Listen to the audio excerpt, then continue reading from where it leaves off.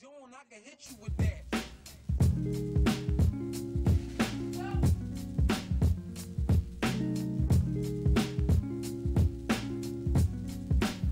First defined as graffiti, street art has had a long history in America.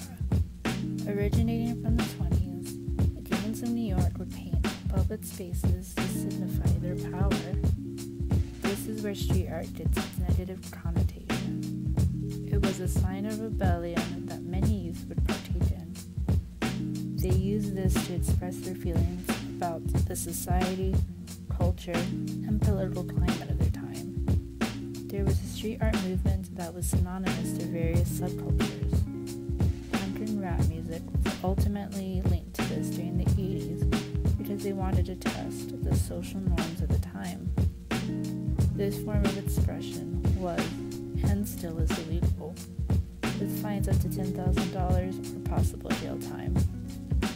But many are seeing this as a new wave of an art form. Now, modern artists like Banksy and Reels have taken the concept of an illegal act and creating pieces that go against the traditional art form. There are still arguments on whether street art is just that art or destruction of property.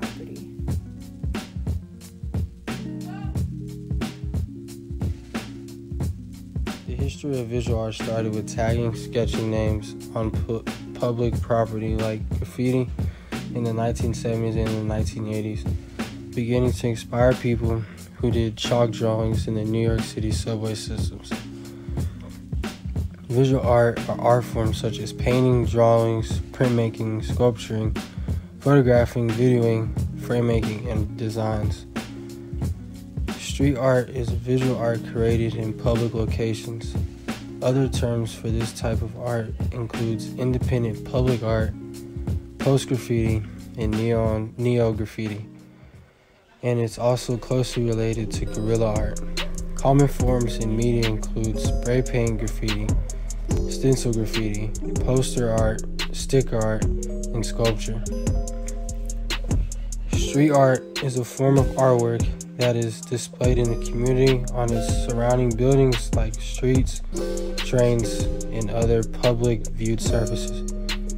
Many instances come from the form of guerrilla art, which is composed to make a public statement about the society and the artist's lives within. The work was moved from the beginning of graffiti and vandalism to a new mode where artists work to bring messages or just simply beauty to the audience. Some artists use smart vandalism as a way to raise awareness to social and political issues. Others simply see urban spaces as an untapped format for personal artwork.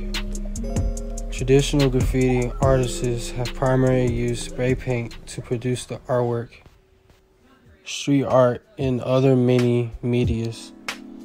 New media forms such as projection onto large city buildings are increasing popular tools for street artists.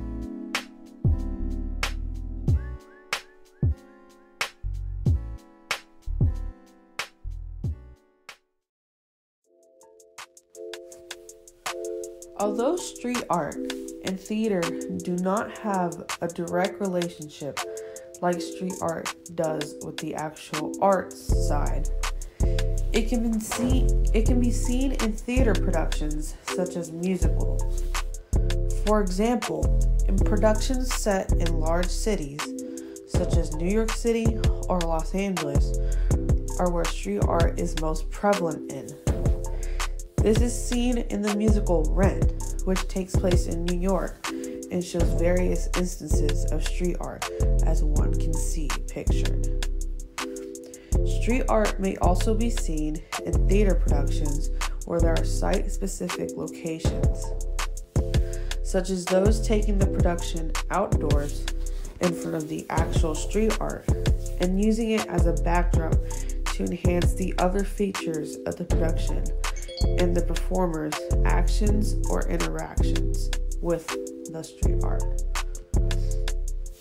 A difference between street art and theater is that street art is usually done without permission and is non commissioned, while theater has some regulations in order to make the production profitable and or appropriate for its targeted audience.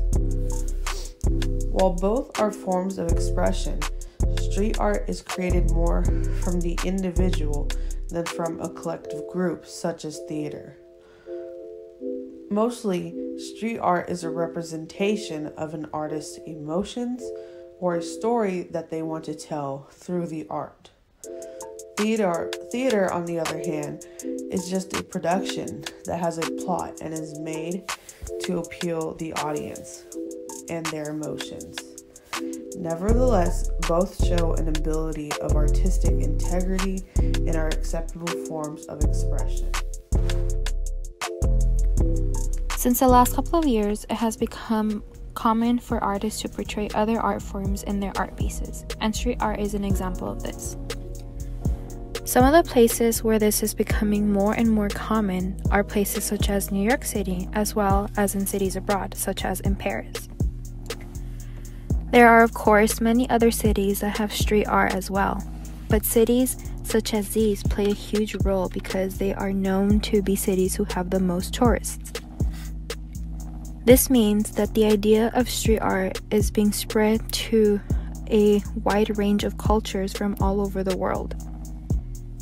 The idea of dance and street art is being incorporated by painting people who are dancing or listening to music, along with captions that say, It's time to dance.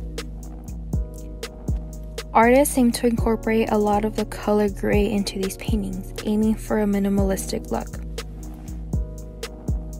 Not only are they painting pictures of people dancing, but it's also coming for street dancers to look for places with various forms of street art.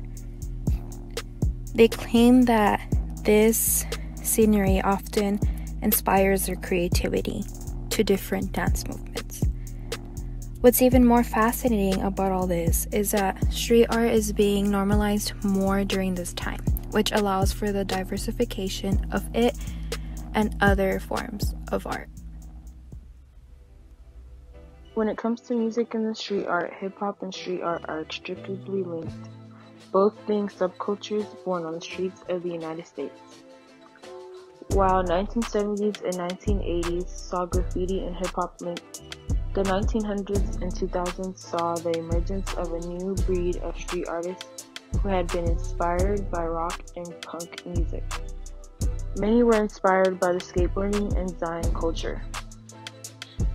Two of the most well-known names in modern street art have been associated with the rock and roll side of music. The first being Banksy. Even though sometimes it appears that graffiti and street art are now an accepted part of the art world, and the use by musicians of imagery can be just seen as a marketing ploy, one shouldn't forget that many were inspired by music to go out and create. Such is the case with artists like D-Face, inspired by hip hop and punk along with skateboarding. For many years, music and art have been working hand in hand. For example, Warhol, who had produced and collaborated artistically with the Velvet Underground. And he has made it possible to find a whole new generation of artists inspired by the rhymes of their favorite songs. Even if nowadays working with street artists can be part of a marketing strategy, artists like D-Face is really inspired by musicians and music in general, and has made his this world his daily activity. The link between music and street art is inevitable.